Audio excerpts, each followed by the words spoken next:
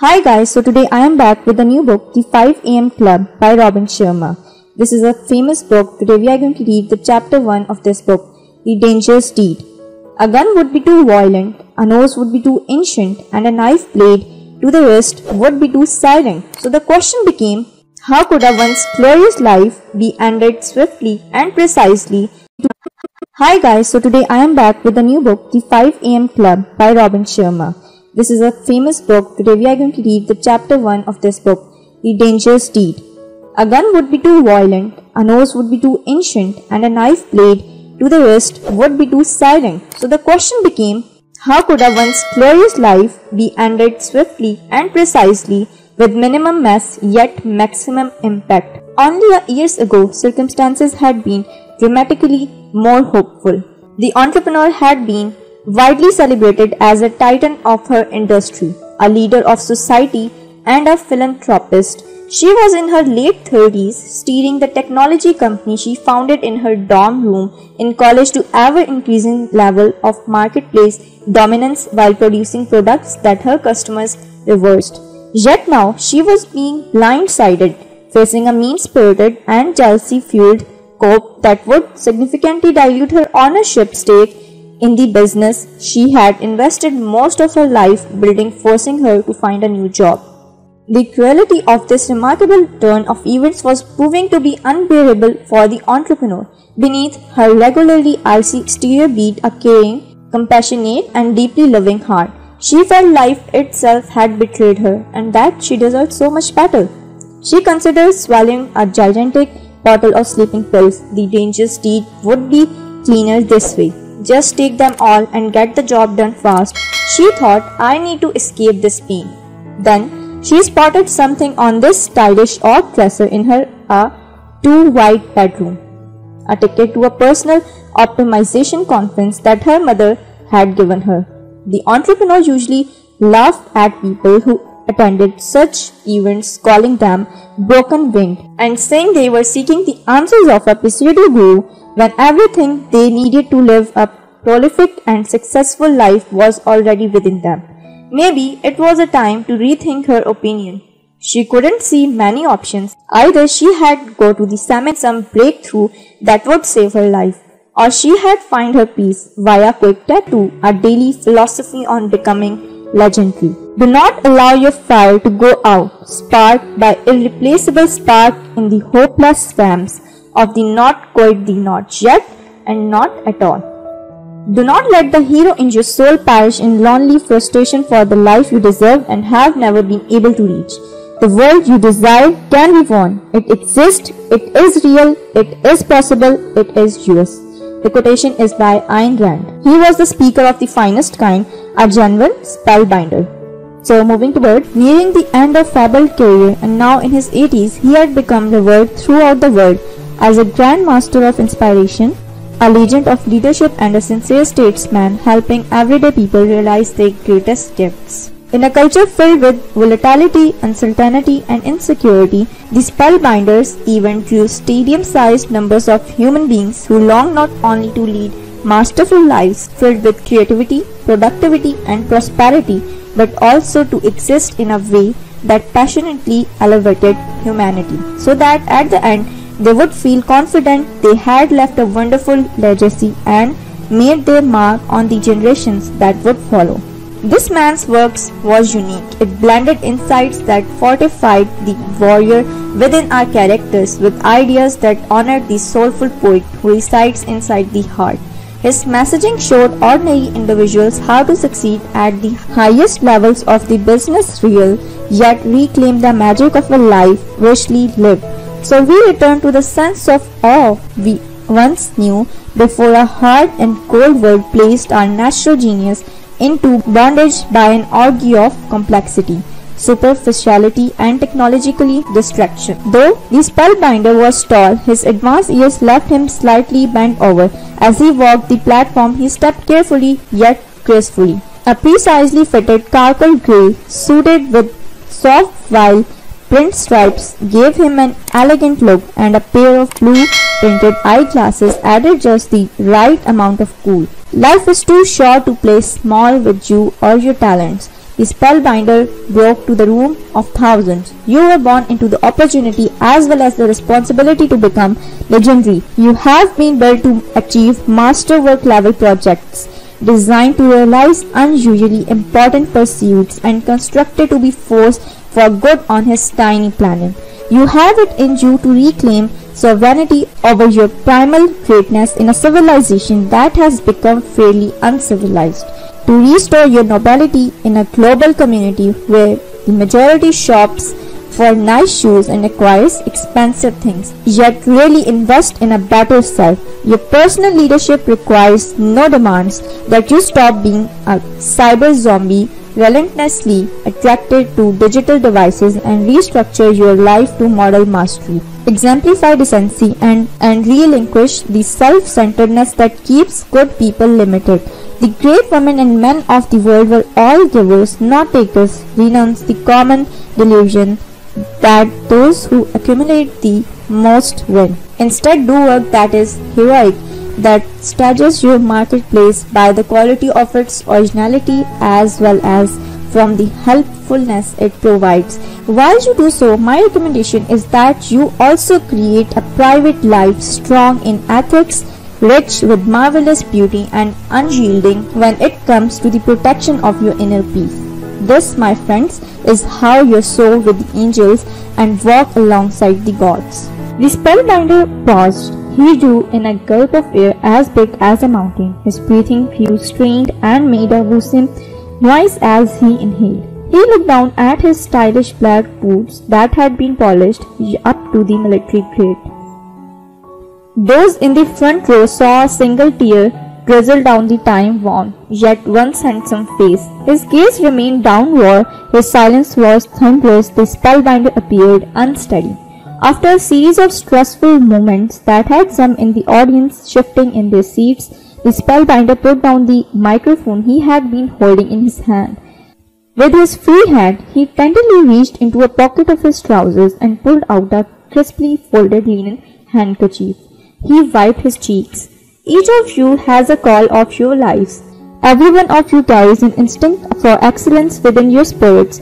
No one in this room needs to stay frozen in average and succumb to the mass mediocritization of behavior evident in society along with the collective deprofessionalization of businesses so apparent in industry.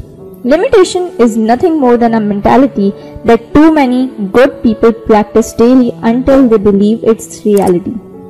It breaks my heart to see so many potential powerful human beings stuck in a story about why they can't be extraordinary professionally and personally. You need to remember that your excuses are seducers, your fears are liars, and your doubts are thieves. Many nodded, a few clapped. Then many more applauded. I understand, I really do, continued the spellbinder. I know you had some difficult times in your life. We all have. I get that you might be feeling things having turned out the way you thought they would when you were a little kid, full of fire, desire, and wonder.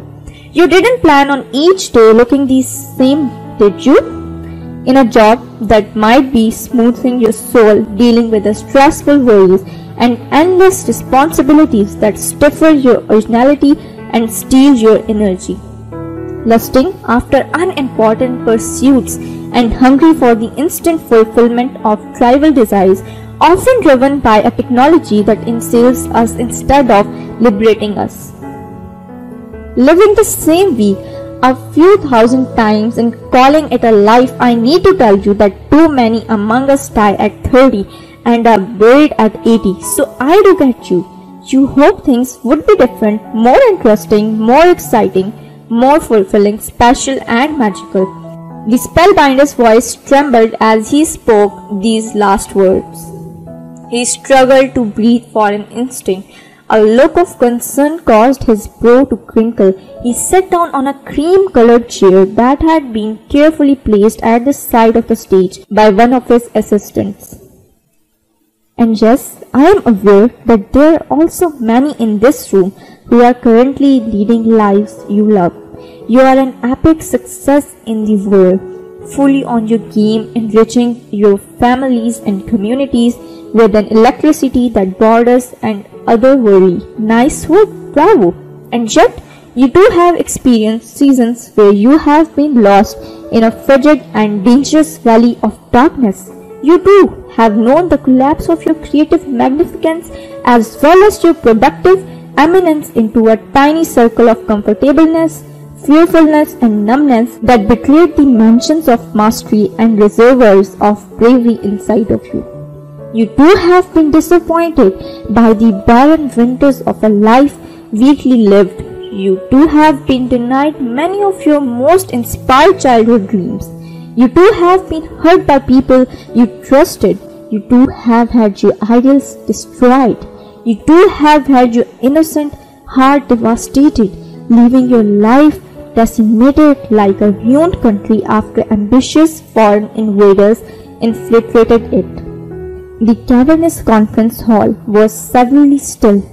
No matter where you are on the pathway of your life, please don't let the pain of an imperfect past hinder the glory of your fabulous future. You are so much more powerful than you may currently understand. Splendid victories and outright blessings are coming your way, and you are exactly where you need to be to receive the growth necessary for your lead the unusually productive, extremely prodigious, and exceptionally influential life that you have earned through your hardest trials. Nothing is wrong at this moment, even if it feels like everything is falling apart. If you sense your life is a mess right now, this is simply because your fears are just a little stronger than your faith. With practice, you can turn down the volume of the voice of your scared life and increase the tone of your most triumphant side. The truth is that every challenging event you have experienced each toxic person that you have encountered and all the trials you have endured have been perfect preparation to make you into the person that you are now. You needed these lessons to activate the treasures, talents, and powers that are now awakening within you. Nothing was an accident, zero was a waste. You are definitely exactly where you need to be begin in the life of your most supreme desires one that can make you an empire building along with a world changer and perhaps even a history maker. This all sounds easy, but it's a lot hardly in reality, shouted a man in a red baseball cap seated in the fifth row. He sported a grey t-shirt and red jeans, the type you can buy torn at your local shopping mall. Though this outburst could have seemed disrespectful, the pitch of the participant's voice and his body language displayed genuine admiration for the spellbinder. I agree with you, you wonderful human being, responded the spellbinder, his grace influencing all participants and his voice sounding somewhat stronger, and he stood up from his chair. Ideas are worth nothing unless backed by application. The smallest of implementations is always worth more than grand set of intentions. And if being an amazing person and developing a legendary life was easy, everyone would be doing it. Know what I mean? Sure, dude, replied the man in the red cap as he rubbed his lower lip with a finger. Society has sold us a series of mistruths. The spellbinder continued. That pleasure is preferable to the terrifying yet majestic fact that all possibility requires hard work regular invention and dedication on deep as the sea to leaving you harbors of safety daily. I believe that the seduction of complacency and an easy life is 100 times more brutal ultimately than a life where you go all in and take an unconquerable stand for your brightest dreams. World class begins where you comfort zone ends in a rule the successful the influential and the happiest always remember. The man nodded. Group of people in the audience were doing the same. From a young age, we are programmed into thinking that moving through life loyal to the values of mastery, ingenuity, and decency should need little effort. And so, if the road gets tough and requires some patience, we think we are on the wrong path, commented the spellbinder as he grasped the arm of the wooden chair and folded his thin frame into the set again. We have encouraged a culture of soft, weak, and delicate people who can't keep promises, who bail on commitments, and who quit on their aspirations the moment the smallest obstacles shows up. The orator then sighed loudly. Hard is good. Real greatness and the realization of your inherent genius is meant to be a difficult sport. Only those devoted enough to go to a very edges of the highest limits will expand them and the suffering that happens along the journey of materializing your special powers, stronger abilities, and most inspiring ambitions is one of the largest source of human satisfaction. A major key to happiness and internal peace is knowing you. You have done whatever it took to earn your rewards and patiently invested the effortful audacity to become your best. Jazz legend Miles Davis stretched himself ferociously past the normal his fields knew to fully exploit his magnificent potential. Michelangelo sacrificed enormously mentally, emotionally, physically, and spiritually as he produced his awesome art. Rosa Parks, a simple seamstress with outstanding courage, endured blunt humiliation when she was arrested for not giving up her seat on a segregated bus. Ignition the civil rights movement. Charles Darwin demonstrated the kind of resolve that virtuosity demands by studying barnacles. Yes, barnacles for eight long years as he formulated his farm theory of evolution. This kind of dedication to the optimization of expertise would not be labeled as crazy by the majority in our modern world that spends huge amount of their irreplaceable lifetime watching streams of selfies, the breakfast of virtual friends and violent video games. Noted the spellbinder as he peered around the hall as if committee do looking to each other of the attendees straight in the eye. Stephen King worked as a high school writing teacher in, in an industrial laundry before selling Carrie, the novel that made him famous. The aging presenter continued. Oh, and please know that King was so discouraged by the rejections and denials that he threw the manuscript he wrote in his rundown trailer into the garbage, surrendering to the struggle. It was only when his wife Tabitha discovered the work while her husband was away wiped off his cigarette ashes, read the book and told its author that it was brilliant that King submitted it for publication. Even then, his advance for hand cover rights was a paltry $2,500. Are you serious? murmured a woman seated near the stage. She wore a lush green hat with a big scarlet feather sticking out of it and was clearly content with marking to her own drumbeat. I am, said the spellbinder. And while Vincent van Gogh created 900 paintings and over 1000 drawings in his lifetime, his celebrity started after his death. His drive to produce was not inspired by the ego fuel of popular applause, but by a wiser instinct that enticed him to see just how much of his creative power he could unlock no matter how much hardship he had endured. Becoming legendary is never easy, but I had preferred the journey to the heat break of being stuck in an ordinary that so many potentially heroic people did. Well, Constantine articulated the spellbinder for me. Anyway, let me simply say that the place where your greatest discomfort lies is also the spot where largest opportunity lives the beliefs that disturb you, the feelings that threaten you, the projects that unnerve you, and the unfoldments of your talents, the unscared part of you is resisting are precisely where you need to go to. Lean deeply toward these doorways into your bigness as a creative producer, seeker of personal freedom and possibilitarian, and then embrace these beliefs feelings, projects quickly instead of structuring your life in a way that is designed to dismiss them. Walking into the very things that scare you is how you reclaim your forgotten forward and how you get back the innocence and awe you lost after childhood. Suddenly, the spellbinder started to cough, mildly at first, then violently like he had been possessed by a demon hellbent on revenge. In the wings, a man in a black suit with an aggressive crew cut spoke into a mouthpiece tucked by secretly into his shirt cuff. The lights began to flicker, then dim. A few audience members who were located near the platform stood unsure of what to do. A uniquely pretty woman with her hair in a crisp bun, a clenched smile, and a tight black dress with an embroidered white collar rushed up the metal staircase that the spellbinder has accented at the beginning of his talk. She carried a phone in one hand and a well-worn notebook in another. Her red high heels made a click-clack, click-clack sounds as she raced toward her employer. Yet the woman was too late. The spellbinder clumpered the floor like a punch.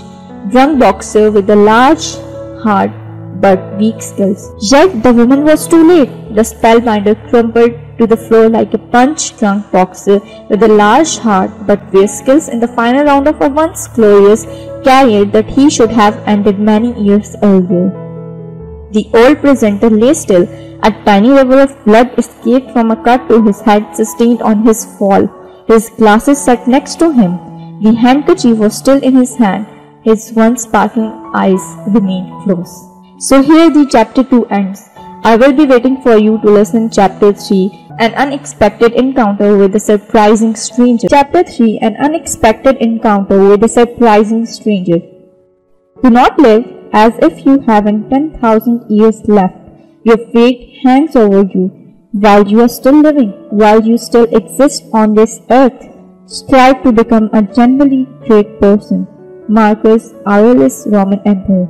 The entrepreneur lied to the people she met at this seminar, telling them she was in the room to learn the spellbinder fabulous formulas for exponential productivity as well as to discover the neuroscience beneath personal mastery that he had been sharing with leaders of industry.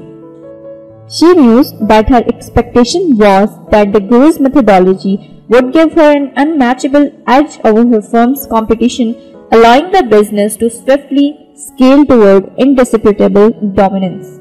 You know, the real reason she was there, she needed her hope exalted and her life saved. The artist had come to the even to understand how to fuel his creativity and multiply his capability so he could make an enduring mark on his field by the paintings he generated. And the homeless man appeared to have sneaked into a conference hall while no one was watching. The entrepreneur and the artist had been seated together. This was the first time they had met. Do you think he is dead? She asked as the artist fidgeted with his dangling bob Marley Reed dogs. The entrepreneur's face was angular and long.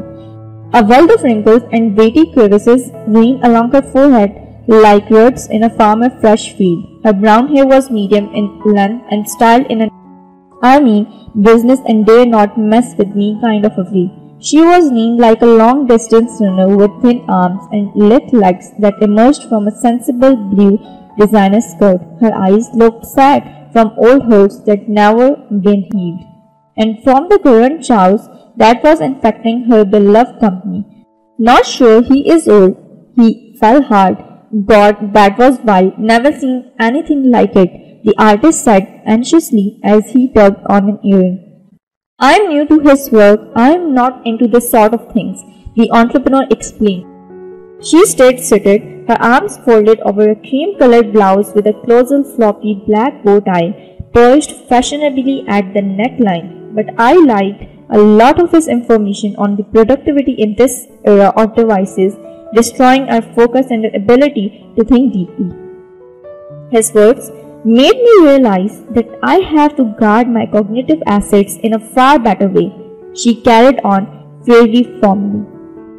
She had no real interest in sharing what she was going through, and she obviously wanted to protect her cricket on an illusion because women ready to rise to the next level. Yeah, he is deaf hip, said the artist, looking nervous. He has helped me so much. Can't believe what just went down. So real, right? He was a painter because he wanted to elevate his craft as well as improve his personal life he followed, the spellbinder's work. But for whatever reason, the demons within him seemed to hold power over his greater nature, so he had inevitably sabotaged his Hercule and ambitious and wonderfully original ideas. The artist was heavy. A gaudy judged out from under his chin. He wore a black t-shirt and long black shorts that fell below his knobby knees. Black boots with rubber soles, the kind you may have seen Australians wear, completed the creative uniform. A fascinating cascade of tattoos rolled down both arms and across his left leg. One said, Rich people are fakers. Another stole a line from Salvador Dali, the famed Spanish artist. It reads simply, I don't do drugs, I am drugs. Hi guys, the homeless man spoke inappropriately loudly from a few rows behind the entrepreneur and the artist. The auditorium was still empty and the audiovisual crew was noisily tearing down the staging. Even staff swept the floor. A night mist on wet song played soothingly in the background. The two new acquaintances turned around to see a tangled mess of wild person hair, a face that looked like it had not been shaved in decades, and a tattered arrangement of terrifically strained clothing. Yes, asked the entrepreneur in a tone so cold as an ice cube in the Arctic. Can I help you? Hey brother, what's up? offered the artist more compassionately. The homeless man got up, shuffled over, and sat next to the two. Do you think the guru's crocked? he asked as he picked at the scab of one of his wrists. Not sure, the artist replied as he twirled around dreadlock. Hope not. Did you guys like a seminar? You, and toward the old timer said, continued the scurvy stranger. Definitely, said the artist. I love his work. I have a hard time living it all, but what he says is profound and powerful. I am not so sure, the entrepreneur said cynically. I like a lot of what I heard today, but I am still not convinced on some other thing. I will need some time to process it on. Well, I think he is a new Bruno, stated the homeless man with a bird. I made my fortune thanks to the teachings of the spellbinder and have enjoyed a pretty world class life because of him too. Most people wish for phenomenal things to happen to them. He taught me that exceptional performers make phenomenal things happen to them. And the great thing is, he not only gave me a secret philosophy to get my big dreams done, but he taught me the technology, the tactics, the tools to translate the information into results his revolutionary insights on how to install a fearlessly productive morning routine alone transformed the impact I have had on my marketplace. A jet scar ran along the homeless man's forehead, just above his right eye. His threatening view was gray. Around his neck, he sported a beaded necklace like the ones Indian holy men wore at their temples. Though his hyperbole made him sound unstable and his visage made it appear that he had lived on a street for many years. His voice displayed an irregular sense of authority and his eyes revealed the confidence of a lion. Total crackpot, the entrepreneur whispered to the artist. If he is got a fortune, I am Mother Teresa. Got you? He seems insane, the artist replied. But check out his humongous watch. On the left wrist of the homeless man who seemed to be in his late 60s was one of those massive timepieces that British hedge fund managers are prone to wear when they go out to dinner in Mayfair. It had a dial the color of a revolver surrounded by a stainless steel rim, a red needle thin R hand, and a sunset orange minute hand. This noteworthy badge of honor was united with a white black rubber strap, leading a driver like feel to the whole luxurious look. A hundred grand, easily said the entrepreneur deceitfully.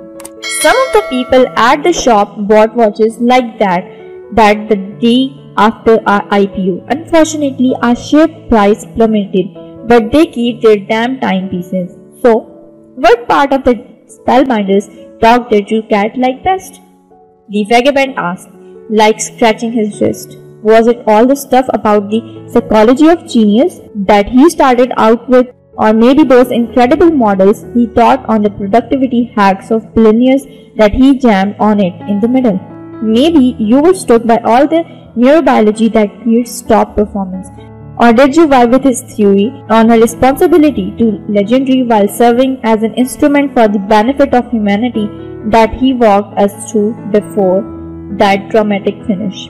The homeless man winked and glanced at his big watch. Hey dudes, this has been fun, but time is one of the most precious commodities I have learned to bulletproof. Warren Buffett, the brilliant investor, said the rich invest in time, the poor invest in money. So I can't hang with you humans too long. Got a meeting over the jet and a runaway. Know what I mean? He seems to be delusional, thought the entrepreneur. Buffett also said, I buy expensive suits, they just look cheap on me Maybe you will remember that too. And she continued, I really don't mean to be rude, but I am not sure how you got in here. And I have no idea where you got that, that watch from or what jet you are talking about. And please stop speaking the way you do about what happened at that presentation. Nothing funny about it. Seriously, I'm not sure the gentleman's still breathing. Definitely true, the artist agreed as he stroked his skirt. Not cool. And why do you talk like a surfer? Hey guys, chill, said the homeless man. First, I am a surfer. I spent my teenage years on a boat in Malibu. Used to ride near a point where the red breaks are. Now I surf the smaller waves in Tamarin Bay. I spot you cats have probably never been to. Never heard of the place. You are fairly outrageous, the entrepreneur said frostily. The homeless man was unstoppable. And second, I have been very successful in the business world. I have built a bunch of companies that are extremely profitable in this age of firms making billions in income yet nothing on their bottom line. What a joke. The world is going to little Bursuk. Too much greed and not enough good sense. And third, if I may, he added as his gravelly voice grew stronger, there is a plane waiting for me on a terminal not so far from here. So before I go, I will ask you again because I want to know what part of the Spellbinders presentation did you two like best? Pretty much the whole thing, the artist answered. Love it all so much. I recorded every word, the old legend said. That is illegal, cautioned the homeless man, crossing his arms firmly. You could get into serious lawyer trouble doing that. It is against the law, confirmed the entrepreneur. Why would you do that? Because I wanted to. Just felt like it. I do what I want to do. Rules are made for destruction, you know.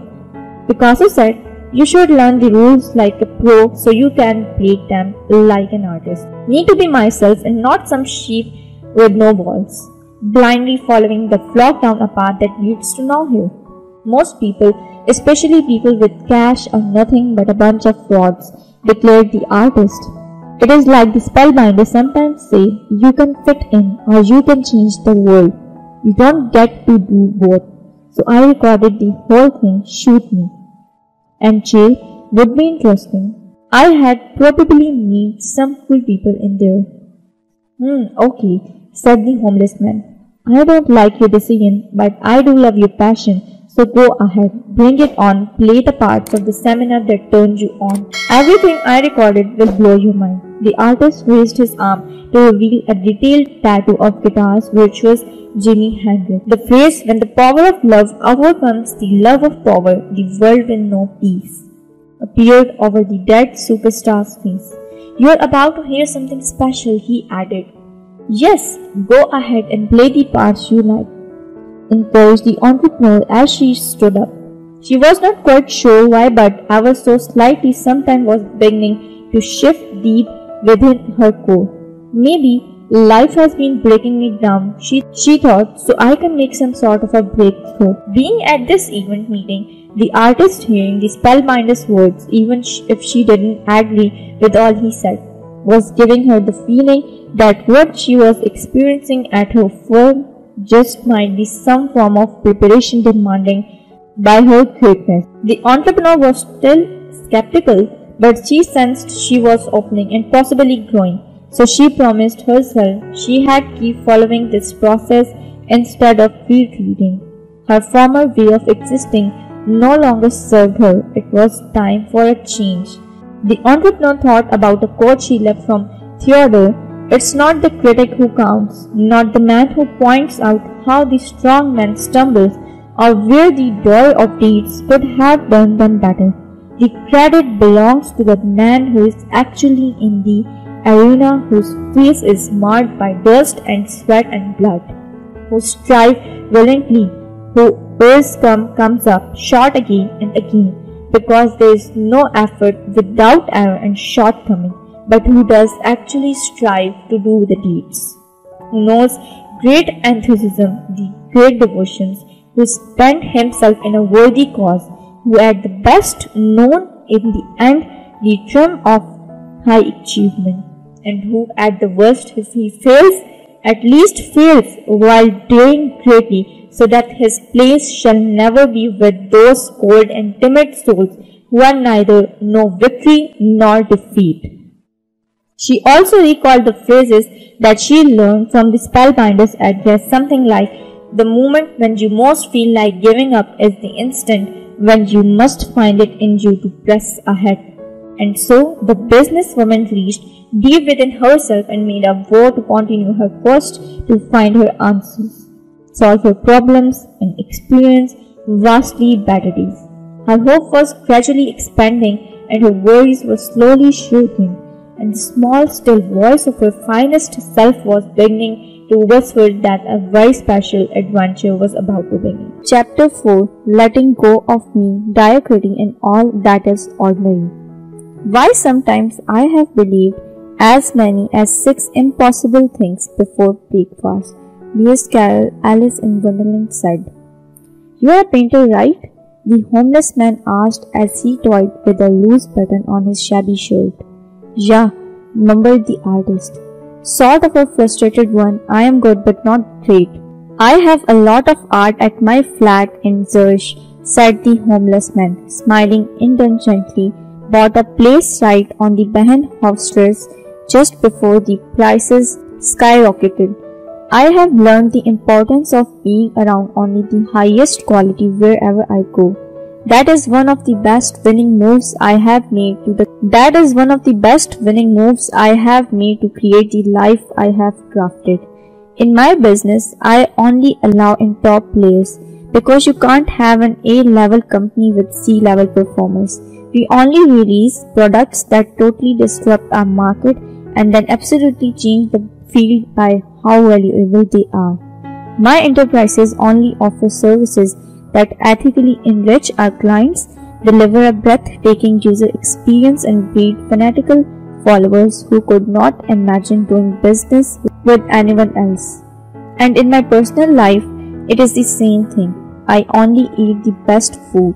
Though I don't eat a lot of it, I only read the most original and thoughtful books spend my time in the most delightful, led and inspiring of spaces and visit it the most enacting of places. And when it comes to relationships, I only surround myself with human beings who fuel my joy, stroke my peace, and excite me to become a better man. Life is a way too valuable to hang up with people who don't get you, who you just don't vibe with, who have different values and lower standards than you do who have different mindsets, heart sets, health sets, and soul sets. It is a little miracle how powerfully and profoundly your influences and environment shape our productivity as well as our impact. Interesting, noted the entrepreneur as she stared at her phone. He does seem to know what he is talking about, she muttered softly to the artist, her eyes still down on the screen. The spider is web of wrinkles on her face relaxed further. On one wrist dangled two immaculate silver bracelets. One bore the one bore the phrase, turn I can't has into I cans, while the other was engraved with done is better than perfect. The entrepreneur had purchased these presents for herself when her company was in its startup phase and she had been in a highly confident mood. I know about mindsets, said the artist. Never heard of heart sets, health sets, and soul sets, man. You will suggest the homeless man. And once you do, the way you create, produce, and show up in your world will never be the same. Seriously, revolutionary concepts for an empire maker and world builder, and so few business people and other human beings on the planet currently know about them. If they did, every important element of their lives would increase rapidly. For now, I just wanted to keep jamming on my personal commitment to ultra high quality in everything around me. Your surroundings really do shape your perceptions, your inspirations, and your implementations. Art feeds my soul. Great book battle-proof my hope. Rich conversation magnify my creativity. Wonderful music uplifts my heart. Beautiful sights fortify my spirit. And all it takes in a single morning filled with positivity to deliver a monumental download of inventive ideas that elevate an entire generation, you know. And I need to say that uplifting humankind is the master sport of business that the top 5% play. The real purpose of commerce is not only to make your personal fortune, the true reason to be in the game is to be helpful to society. My main focus in business is to serve. Money, power, prestiges are just are inevitable byproducts that have shown up for me along the way. An old and remarkable friend taught me this way of operating when I was young man. It totally transformed the state of my prosperity and the magnitude of my private freedom. And this Constrainian business philosophy has dominated my way of doing things ever since. Who knows, maybe I will introduce my mentor to you sometime. The vagrant passed. He studied his large watch. Next he closed his eyes and said these words. On your morning, elevate your life. As if by magic, a fairly small and quick thick piece of white paper appeared in the palm of his outstretched left hand. It was quite a trick. You would have been exceedingly impressed if you were standing there with these three souls. Here's what the image on the paper looked like. The entrepreneur and the artist both had their mouths open at this point, appearing to both confused and mesmerized. You do each have a hero inside of you. You knew this as a child before adults told you to limit your powers, shackle your genius, and betray the truths of your heart. The homeless man told them, sounding a lot like the spellbinder. Adults are deteriorated children, he went on. When you were much younger, you understood how to live. Staring at stars filled you with delight. Running in a park made you feel alive, and chasing butterflies flooded you with joy. Oh, how adore butterflies! And as you grew up, you forgot how to be human. You forgot how to be bold and enthusiastic and loving and widely life.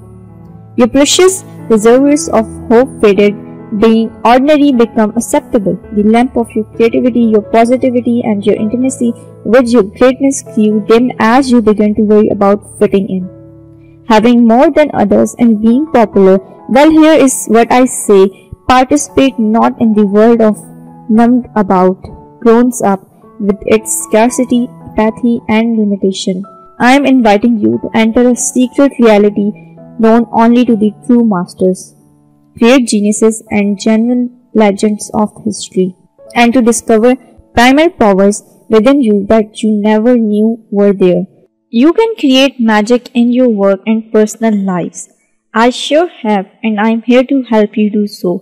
Before the entrepreneur and the artist could utter even a word, the homeless man continues his discourse. Oh, I was jamming on the importance of art and the ecosystem that your life is built within. Makes me think of the awesome words of prodigious writer Fernando Pessoa. Art frees us through illusion from the scholar of being while feeling the wrongs and suffering endured by Hamlet, Prince of Denmark, we don't feel our own which are while because they are ours and while because they are vile.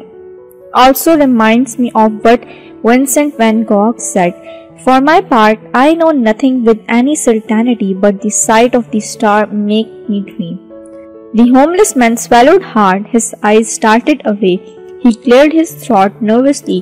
Guys, I have been through a lot Me knocked down and kicked around a ton by life, Being sick, being attacked, being abused, being misused. Hey, I am sounding like a country song.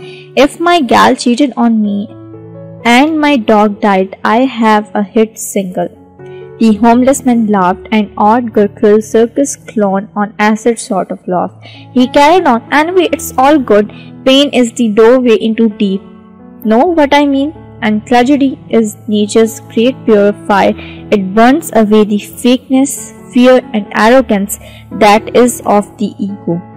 Returns us to our brilliance and genius if you have the courage to go into what which wounds you, suffering yields many rewards, including empathy, originality, relatability, and authenticity. Jonas Salk said. I have had dreams and I have had nightmares, but I have conquered my nightmares because of my dreams. The uninvited vagabond added wistfully. He is super weird, incredibly eccentric, but there is something special to him, admitted the entrepreneur quietly to the artist, removing just a little more of the armor of cynicism that had protected her over her stellar career. What he just said is exactly what I have needed to hear. I get that he looks like he lives in a cardboard box on the street, but listen to his words. Sometimes he speaks like a poet. How could he be so articulate? Where did his depth come from? And who is this old friend he says has taught him so much? He also has a warmth that reminds me of my dad. I still miss him. He was my confidence, my top supporter, my best friend. I think of him every day. Okay, said the artist to the query stranger. You asked me what I liked best from the talk. I definitely liked the part where the spellbinder talked about the Spartan warrior credo that says, One who sweats more in training bleed less in war. And I liked his line, High victory is made in those early morning hours when no one is watching and while everyone is sleeping. His teachings on the value of word close morning routine were great. The entrepreneur glanced down at her device. I have taken some good notes, but I didn't pick up those gems, she said as she captured what she had just heard. We only hear what we were ready to hear, observed the homeless man sagely. All learning meet us exactly where we were at, and as we grow greater, we understand better. The voice of the spellbinder suddenly rang out. The homeless man's eyes looked as huge as the Taj Mahal. One could see he was terrifically surprised to hear that famous tune. He spun around seeking the source quickly all became clear. The artist was playing his illicit recording from the seminar. Here is the part I like most to fully answer your question, brother, he stated, staring directly into the eyes of the shabby tramp. In a culture of cyber zombies addicted to distraction and afflicted with interruption, the wisest way to guarantee that you consistently produce mastery level results in the most important areas of your professional and personal life is to install a world class morning routine. Winning starts at your beginning, and your first hours are when heroes are made. Wage a war against weakness and launch a campaign against fearfulness. You truly can get up early, and doing so is a necessity in your awesome pursuit toward legendary. Take excellent care of the front end of your day, and the rest of your day will pretty much take care of itself. On your morning, elevate your life. The spellbinder could be heard wheezing like a novice swimmer who went too far, too fast. The artist continued presenting his recording, turning up the volume of the sound was playing. Here is the precious little secret that the titans of industry, the stand-out performance of artistry, and the ultra achievers of humanity will never share with you. Gargantuan results are much less about your inherited genetics and far more about your daily habits, and your morning ritual is by far the most essential one to calibrate and then automate. When we see the icons and actions, the forceful seduction sold to us by our civilization is to believe that we're always that great, that they were born into the exceptionalist, that they won the fortunate DNA lottery, that their genius was inherited, yet the truth is that we were watching them in their full blazing glory after years of following a process, one that involved ceaseless hours of practice. When we observe magnificent players in business, sport, science, and the arts, we are observing the earned results of the monomical concentration around a single pursuit, astronomical focus on one skill, intensity of sacrifice applied to one aim, unusual level of deep preparations and extreme amounts of solid patience. Remember, every professional was once an amateur and every master started as a beginner. Ordinary people can accomplish extraordinary feats once they have routinized the right habits. This cat is so solid, said the homeless man. He clapped his dirty hands like a kid at a carnival.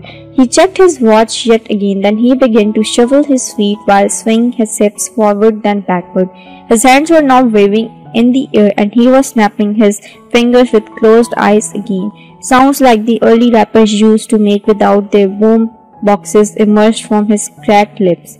You would have been astonished to watch him in action. What the hell are you doing? shouted the artist. Dancing, replied the homeless man, moving closely. Keep bringing me this beautiful knowledge. Socrates said, Education is the kindling of a flame. And Isaac Asimov wrote, Self education is, I believe, the only kind of education there is. So keep playing the old grooves were dude. It's all so the artist resumed the recording. Heavily resist all piracy of your mastery from this world, tempting you into distractibility and causing digital dementia.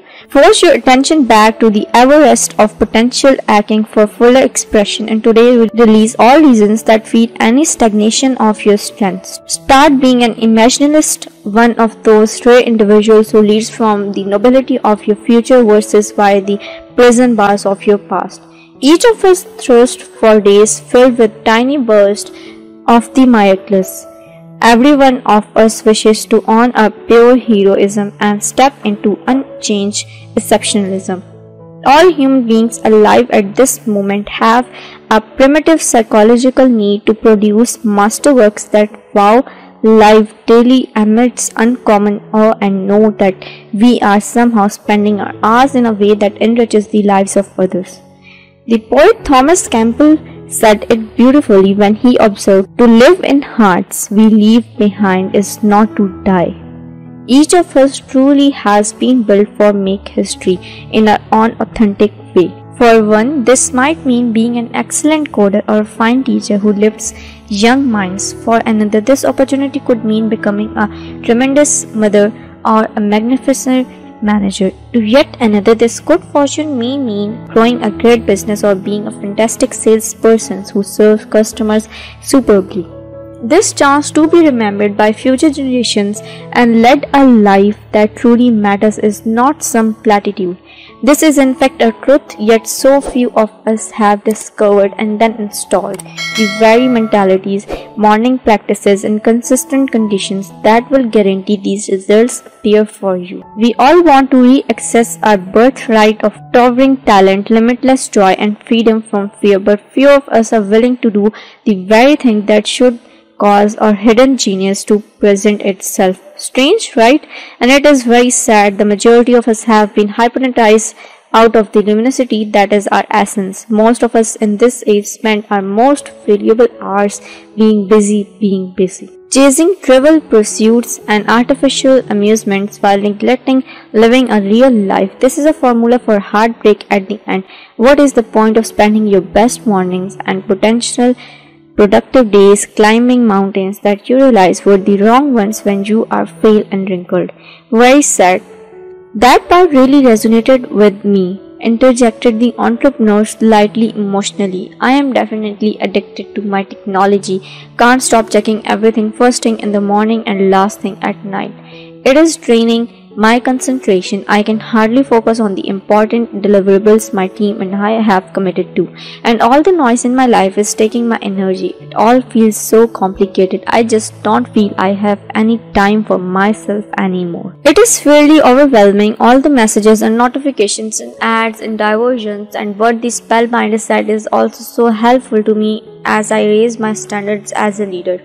I have sort of hit a wall. My company has grown faster than I ever expected. I have become more successful than I ever imagined. But there are some things causes me a ton of stress. She looked away and crossed her arms again. I can't tell them what I am really dealing with the, the entrepreneur, then she continued, I have had to let go of people I really liked because I have learned people who fit at one stage of a business life cycle may not work as a firm evolves. That is being hard. They were the right employees for an earlier time, but they don't belong now.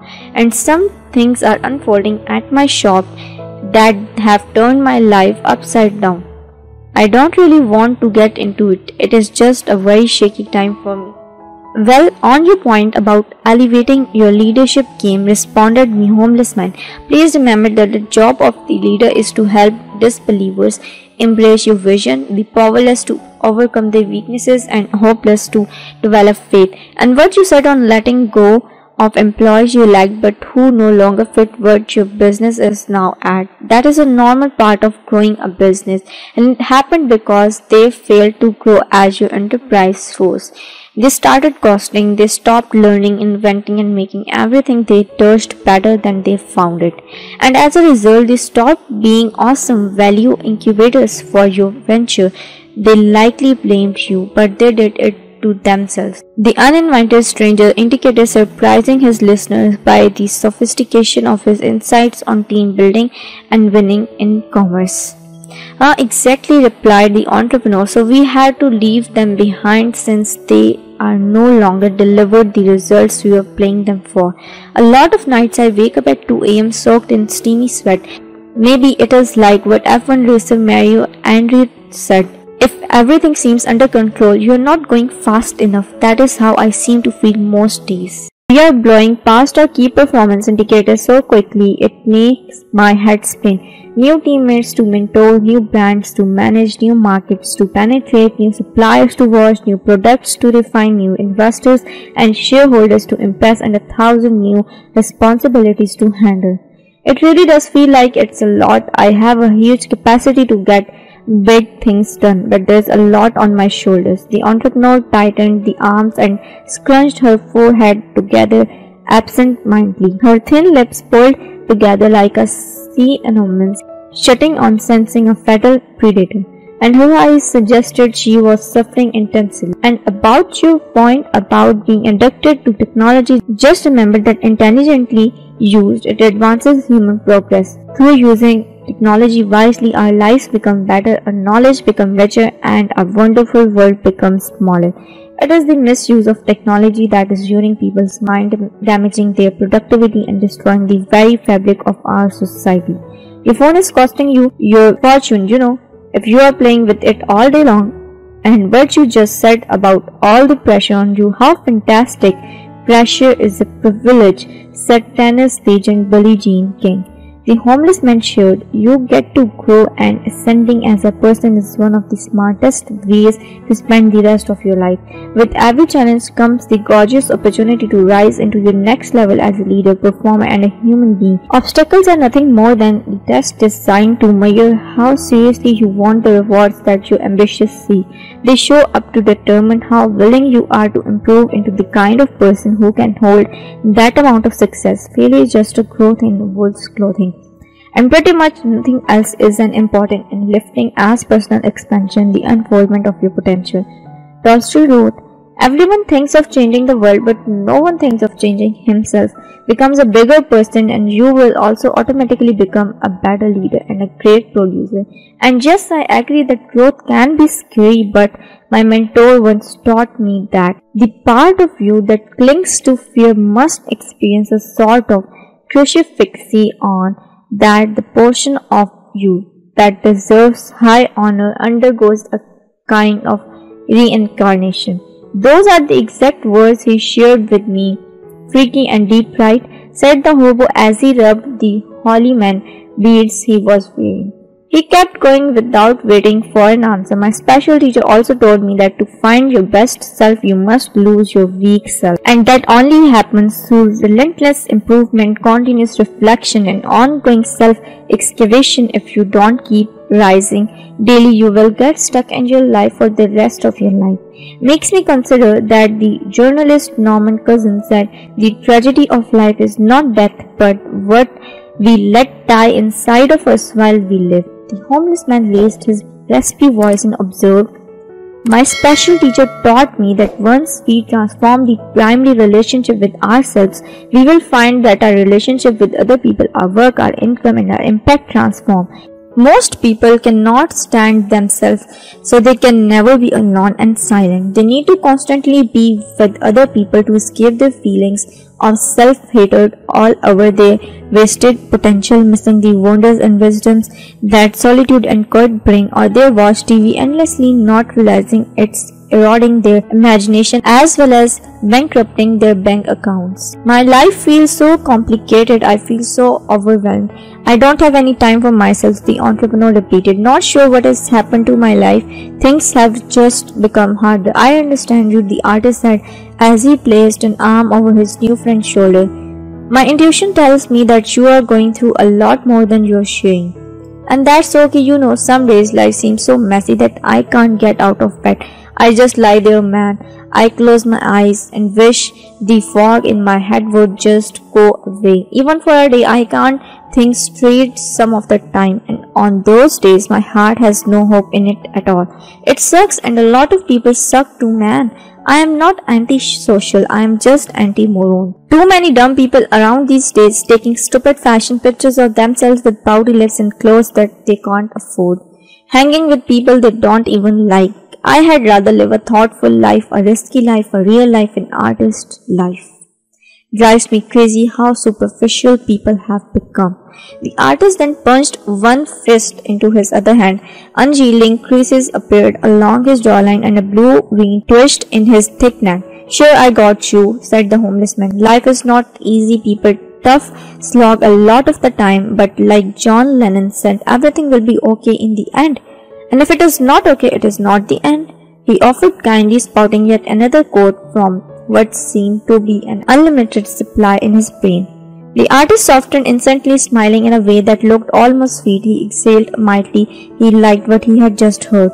And the vagrant continued. This climb up into the rare air of personal and professional mastery that the three of us have obviously signed up for is not for the weak. Upgrading your life so you know real joy and optimizing your skills so you know your field can be uncomfortable a lot of the time. I need to be honest. But here is one key thing I have learned. The soreness of growth is so much less expensive than the devastating cost of regret. Where had you learned that? questioned the artist as he scrawled the words into his notebook. Can't tell you. Yet the homeless man responded, heightening the mystery of where he had discovered much of his insight. The entrepreneur turned away from the artist and jotted down some of her thoughts into her device. The homeless man then reached into a pocket of his hole ridden plaid shirt and produced a heavily used index card. He held it up like a kindergarten student at show and tell. A distinguished person gave this to me and I was a lot younger as I was starting my first company. I was a lot like you, gads, stripping with dreams and set to make my marks on the world. Hungry to prove myself and to dominate the game, the first 50 years of our lives are a lot about seeking legitimacy, you know. We crave social approval. We want our peers to respect us. We hope our neighbors will like us. We buy all sorts of things we really don't need and obsess about making money we really don't enjoy. Totally right, muttered the artist, nodding his head aggressively and shifting his posture noticeably as his dreadlocks dangled over his shoulders. The event venue was now empty. If we have the courage to look within, we discover that we do this because we have a series of holes within us. We falsely believe that material from the outside will fill what's empty within ourselves. Yet it never will, never will. Anyhow, when many of us reach the half-time point of our lives, we make a right angle turn. We begin to realize that we are not going to live forever and that our days are numbered. And so we connect with our morality big point here. We realize we are going to die. What's truly important comes into much sharper focus. We become more contemplative. We start to wonder if we have been true to our talents, loyal to our values, and successful on the long terms that feel right to us. And we think about what those we most love will say about us when we are gone. That's when many of us make a giant shift from seeking legitimacy in the society to constructing a meaningful legacy. The last 50 years then become uh, less about me and more about we, less about selfishness and more about service. We stop adding more things into our lives and begin to subtract and simplify. We learn to savor simple beauty, experience gratitude for small miracles, appreciate the priceless value of peace of mind, spend more time cultivating human connections and come to understand that the one who gives the most is victorious and what is left of your life then become a phenomenal dedication to living life itself as well as ministry of kindness to the many. And this becomes potentially your gateway into immorality. He is really special whispered the entrepreneur. I have not felt this hopeful, energized, and grounded in months. My father used to help me navigate difficult times, she told the artist. Ever since he passed away, I don't have anyone to lean on. What happened to him? quizzed the artist. I am a little fragile right now, even though I feel stronger now than I did when I walked in here this morning. That's for sure, but I will simply say that he took his own life. Dad was a remarkable man, a tremendous successful business pioneer he flew airplanes, raced fast cars, and loved super wine. He was so alive that his business partner took away everything from him. Not so different from the horrible scenario I am living right now. Anyway, the stress and shock of his world collapsing pushed him to do what we could never have imagined. He just could not see any way out, I guess, the entrepreneur revealed as her voice broke. You can lean on me, the artist said tenderly. He placed a hand with a hippie ring on a pinky finger onto his heart as he spoke these words, looking both chivalrous and bohemian. The homeless man interrupted the intimate moment the two were sharing. Here read this, he instructed as he handed over his index card. It will be useful as you both rise to your next performance levels and experience everything that comes with this adventure into human leadership, personal mastery, and creating a career of uncommon productivity. In red lettering over the page, are that they had yellowed by the advance of times it read. All change is hard at first, messy in the middle, and gorgeous at the end. That is where God noted the entrepreneur. A valuable piece of information for me. Thank you. The artist then resumed playing his illegal copy of the Spellbinder's presentation. Each one of you carries a quiet genius and triumphant hero within your hearts. Dismiss these as the idealistic words of an elderly inspirationalist if you wish, but I am proud to be idealist.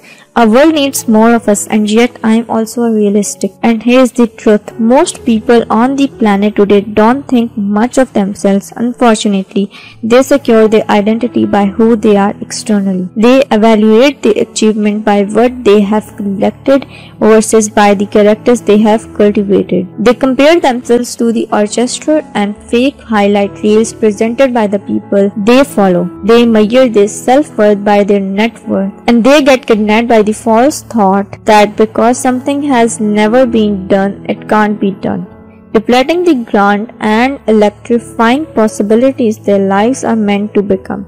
This explains why the majority is sinking in the quicksand of uncertainty, boredom, distraction, and complexity. Drama mamas, the homeless man interrupted again that's what I call men and women who have caught the virus of victimist executes. All they do is complain about how bad things are for them instead of applying their primal power to make things better. They take instead of give, criticize instead of create, and, wor- and worry instead of work. Build antibodies to combat any form of average form of getting anywhere near your professional days at the office and your private lift at home. Never be a drama mama. The entrepreneur and the artist peeked at each other, then they giggled, both at the terms the quirky stranger was using and at the way he had raised an arm and made the fingers of one hand into a peace sign as he spoke the words he had just shared. If you were standing there with them,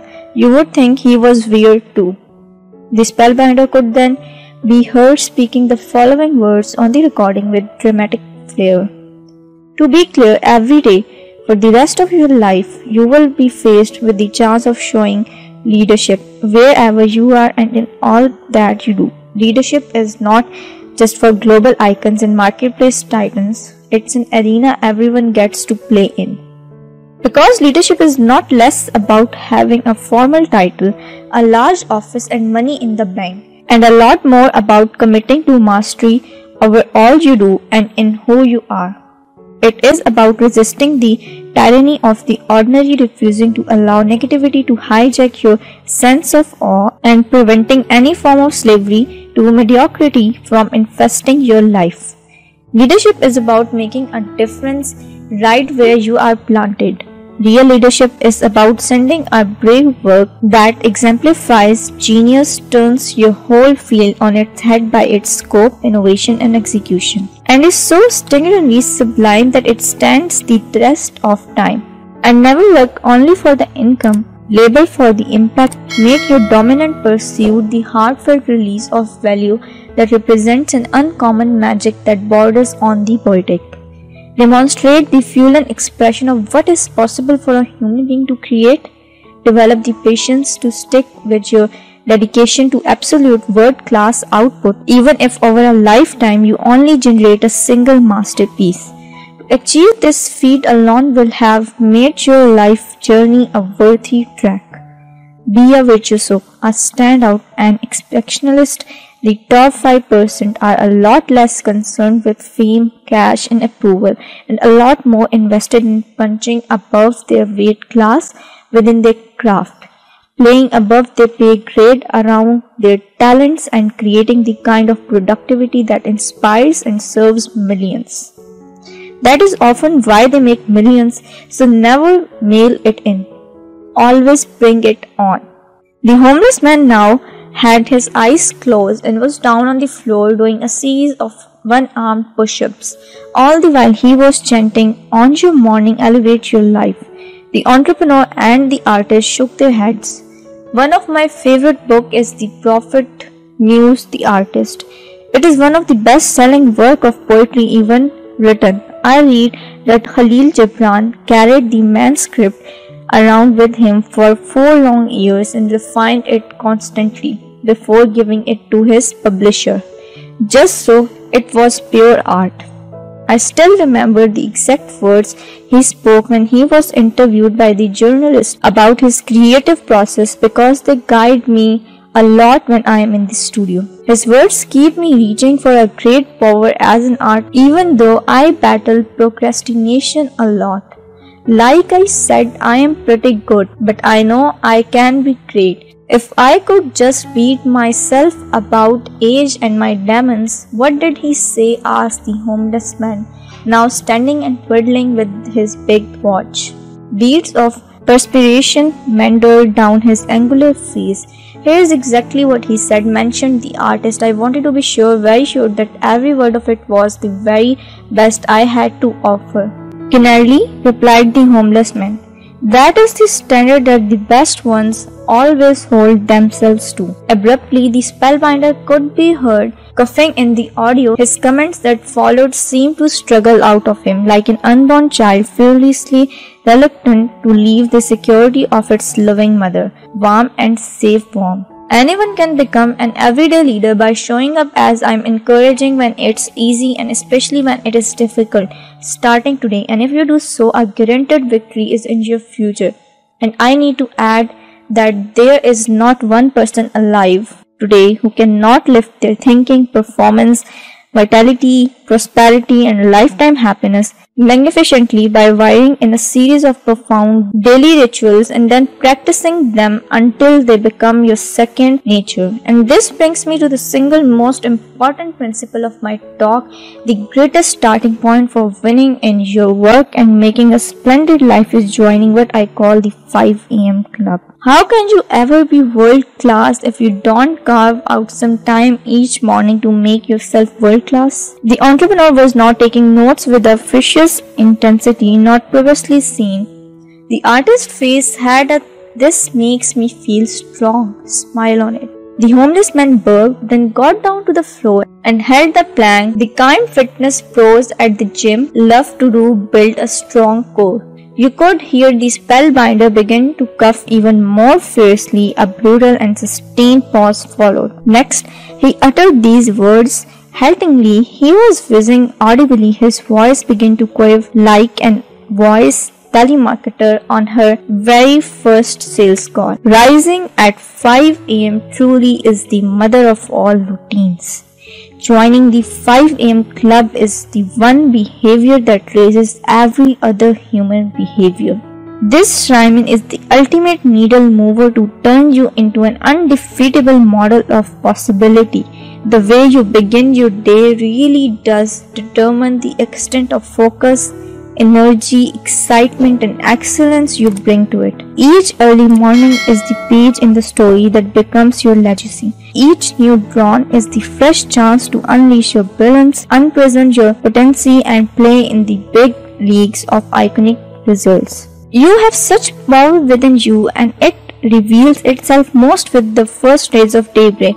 Please do not allow past pains and present frustrations to diminish your glory, stifle your invisibility, and choke the unlimited possibilitarian that lurks within the supreme part of. In a world that seeks to help you down, build yourself up. In an epic that wishes you should stay in the dark, step in your light. At a time that mesmerizes you to forget your gifts, reclaim your genius. Our world requires this of each of us to be champions of our crafts, warriors for our growth, and guardians of unconditional love for all the humankinds. Display respect and comparison for all other people who occupy this tiny planet regardless of their creed, color or caste. Lift them up in a civilization where many get energy tearing others down. Help others sense the marvel that sleep within them. Show us the virtues we all wish more would practice. Everything I am saying will speak to the unspoiled part of you. That side of yourself that was viciously alive before you were taught to fear, hoard, contract, and distrust. It's your job as a hero of your life, as a creative achiever set to change the culture and a citizen of Earth to find his dimensions within you. And once done, to spend the rest of your days reconnect with it, accept this opportunity to human mastery, and I promise you that a sonority to for success as well as an orchestrated magic well beyond the boundaries of logic will infuse the remainder of your days and the larger angels of your grander potential will begin to visit you regularly. Actually, an early series of seemingly impossible miracles will descend onto your most genuine of dreams, causing the best of them to come true, and you will evolve into one of those rare and great spirits who upgrade the whole world by the simple act of walking amongst us. The conference hall was now dark. The entrepreneur let out a sigh the size of the Mexico City. The artist was motionless. The homeless man began to cry. He then stood on a chair, raised his arms like a preacher, and owned these words of Irish playwright George Bernard Shaw. This is the true joy in life, the being used for purpose recognized by yourself as a mighty one the being a force of nature instead of a feverish little clod of oilsmen and grievance complaining that the world will not devote itself to making you happy. I am one of the opinion that my life belongs to the whole community and as long as I live it is my privilege to do for it whatever I can. I want to be thoroughly used up when I die for the harder I work the more I live. I rejoice in life for its own sake. Life is no brief candle for me. It is a sort of splendid torch which I have got hold on for the moment and I want to make it burn as brightly as possible before handing it on to the future generations. The homeless man then fell to his knees, kissed his holy hands and continued to weep.